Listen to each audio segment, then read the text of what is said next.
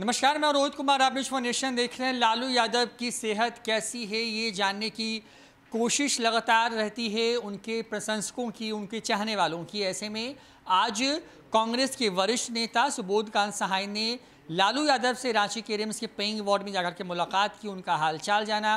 क्या कुछ कहा है? पहले ये सुनिए।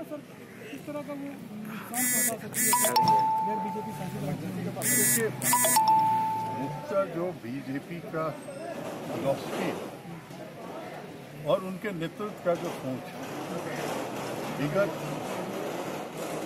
छः सात बरस का जो मोदी राज है, और वही नेता है, और कोई फिलोसफी है नहीं। मोदी राज को ही लोग अल्टीमेट सफलता मानते हैं, जो पूरे आरएसएस और बीजेपी के लोग हैं। वो उनके यहाँ आम आदमी का दुख, दर्द, कष्ट। जो है, इसका कोई महत्व नहीं है। वो एक बार नहीं।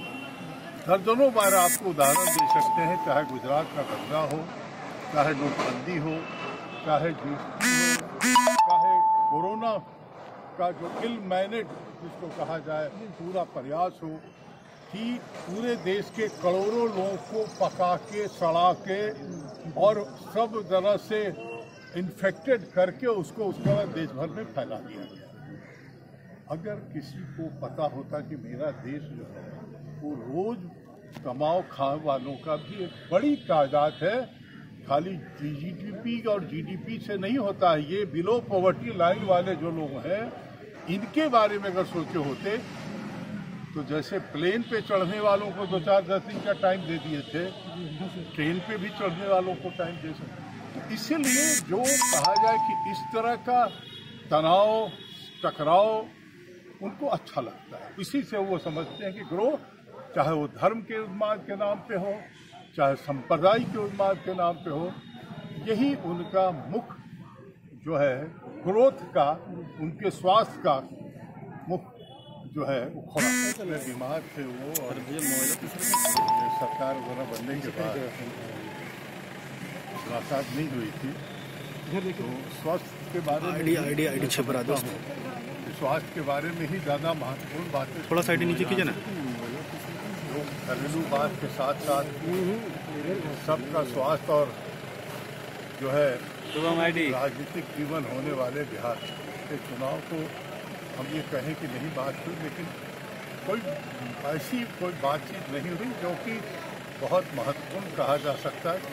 राजनीतिक लेकिन बातचीत जो है राजनीति के स्वास्थ्य में है और 2015 का चुनाव बीस के चुनाव में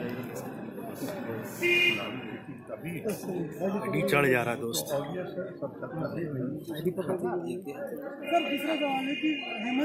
आपको बताएँ कि जब से कोरोना संकट बढ़ा है उसके बाद से लगातार लालू यादव के जो जो मिलने लोग पहुँचते हैं, उस पर एक तरीके से रोक सी है।